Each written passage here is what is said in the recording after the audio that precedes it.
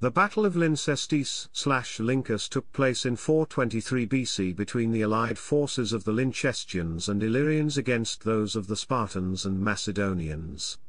The battle was part of the wider Peloponnesian Wars.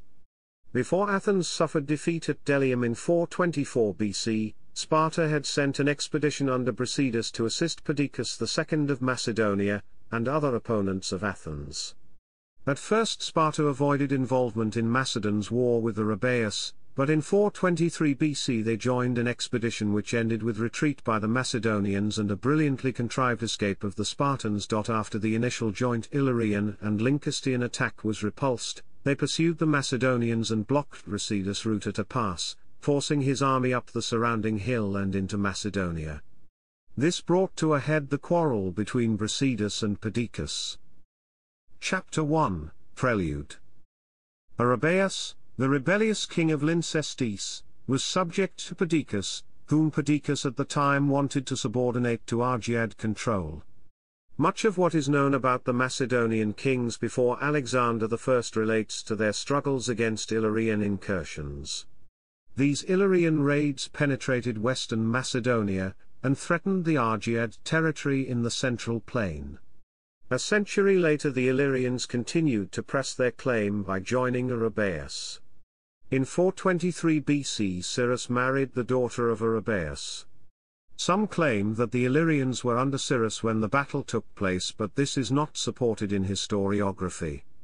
If the Illyrians were indeed under the rule of Sirras during the events of the battle, then they were either the Taulantii or Incili, depending on the affiliation of Sirras with either tribe and the exact location of his kingdom. Perdiccas too was allied to the Spartans and, in 424 BC, helped the Spartan general, Brasidas, to take Amphipolis from the Athenians, one of her most important colonies, mainly for its ready access to timber for her fleets. This was a severe blow to Athens, and would tie them to Macedonian timber for years to come, which strengthened Macedonia's bargaining power considerably. In return for this, and after initial reluctance, the Spartans helped Perdiccas secure his borders, by leading an assault on King Arrhabaeus, with the promise of support from the Illyrians.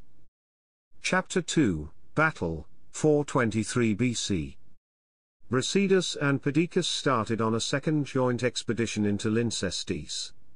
Perdiccas was leading the forces of the Macedonians he ruled over and a body of hoplites.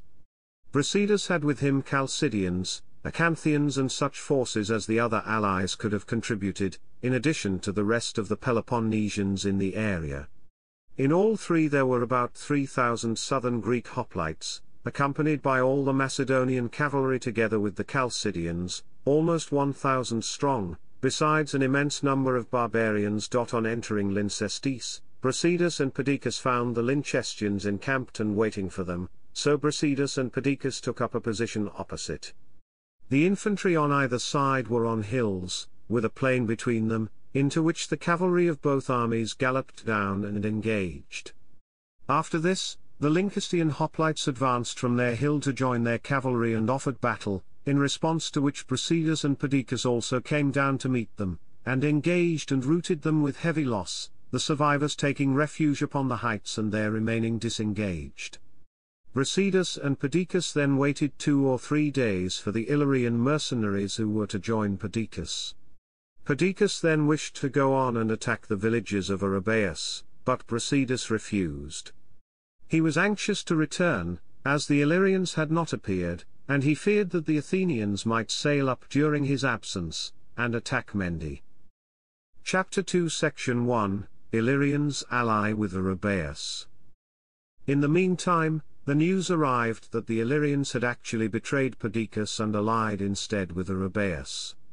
The fear inspired by their warlike character made both parties now think it best to withdraw. However, owing to the disagreement between Brasidas and Perdiccas, nothing had been settled as to when they should retreat. During the night the Macedonians and their allies, believing that an army of Illyrians many times more numerous than that which had arrived was advancing, took fright. This compelled Perdiccas to flee in the direction of his homeland.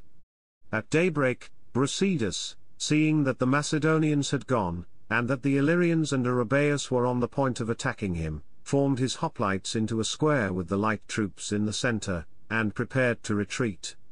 Posting his youngest soldiers to dash out wherever the Illyrians and Lyncestians should attack them, Brasidas and 300 picked men went to the rear intending to face about during the retreat and to beat off the most forward of their assailants. Meanwhile, before the Illyrians approached, Brasidas sought to sustain the courage of his soldiers, clearly shaken by the fearsome appearance of a new enemy.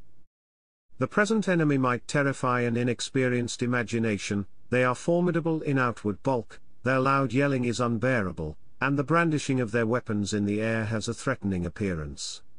But when it comes to real fighting with an opponent who stands his ground, they are not what they seemed, they have no regular order that they should be ashamed of deserting their positions when hard pressed, flight and attack are equally honorable with them, and afford no test of courage, their independent mode of fighting never leaving anyone who wants to run away without a fair excuse for doing so. After this brief address, Brasidas began to lead off his army.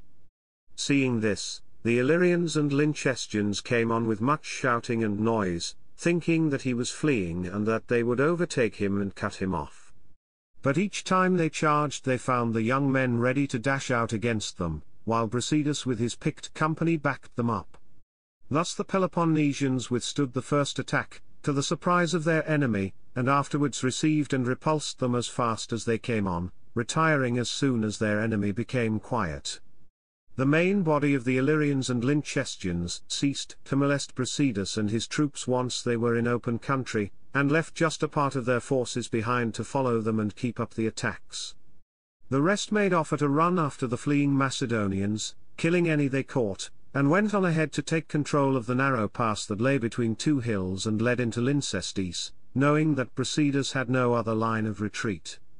Therefore, as he approached the most difficult part of the route they began to encircle him to cut him off. Realizing what was happening, Brasidas gave orders to the 300 men to break ranks and each run as fast as he could to the nearest hill. He thought it easiest to capture and to try and dislodge the Illyrians and Lyncestians already there before the larger encircling group could join them. His men attacked and overpowered the party on the hill, enabling the main body of Peloponnesians to make their way to join them with relatively little difficulty. Chapter 2 Section 2 Aftermath Brasidas now that he had taken the high ground, went on in greater security to Arnisa, the first place he reached in Perdiccas country. His soldiers were furious at the premature retreat of the Macedonians, and whenever they came across any of their ox carts or any baggage that had fallen off, they would cut loose and slaughter the oxen and take the baggage for themselves.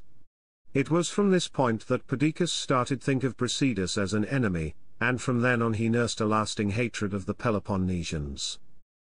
Chapter 3 Historical Sources Thucydides, The Peloponnesian War, Book 4, Chapter 124 to 126.